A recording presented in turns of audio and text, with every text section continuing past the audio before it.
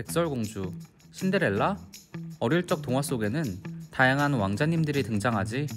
외모나 능력 어디 하나 빠지는 게 없는 환상 속 왕자님들이야. 하지만 너무 완벽해서 오히려 벽이 느껴질 때도 있지 않았어? 그런 분들은 주목. 오늘 새로운 왕자님을 만나볼 거야. 천 개의 매력을 가진 하늘나라 왕자님. 이번 입덕 모먼트의 주인공이 바로 천세태자거든. 천세태자는 옥황계 왕자 시절 연라대왕에게 특훈 검술 수업을 받고 자랐어. 무예 실력이 뛰어났기 때문일까? 어린 시절 물려받은 천황복음을 훗날 자유자재로 다루게 되지. 하지만 무술보다 사실은 공부를 더 좋아했던 태자님. 천세야말로 말로만 듣던 엄친아 아니야? 아무튼 이런 선행학습 덕분인지 시간이 지나 멋있는 한자 마법을 구사하지. 유성, 유도탄, 그리고 51권의 정광 석화까지. 문무 능력을 모두 탑재한 당신은 혹시 본투비 왕자님?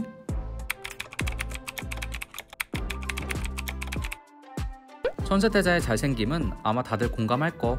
두 번 말하면 입만 아프지.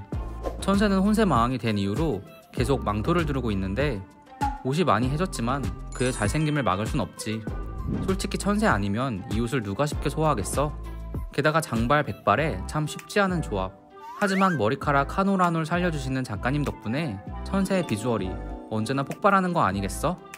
작가님께 우리 한번 큰절 올리자고. 게다가 수트도 얼마나 잘 어울리게요? 태자님이 걷는 곳은 어디든 런웨이가 될 것 같아.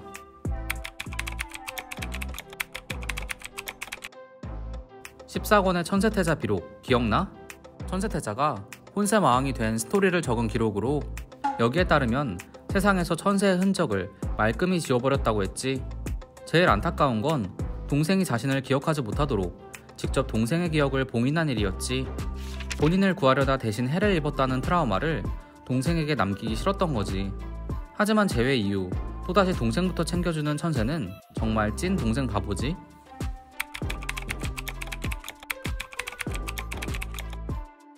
천세태자의 매력은 또 이 서늘한 무표정에 있지.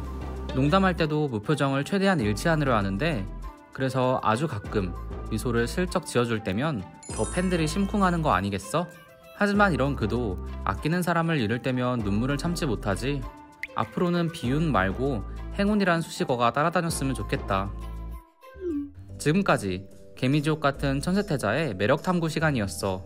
천세의 매력은 끝도 없지만 분량상 간단하게만 다뤄보았어. 여기서 소개되지 않은 다른 매력도 알고 있다면 댓글로 알려줘.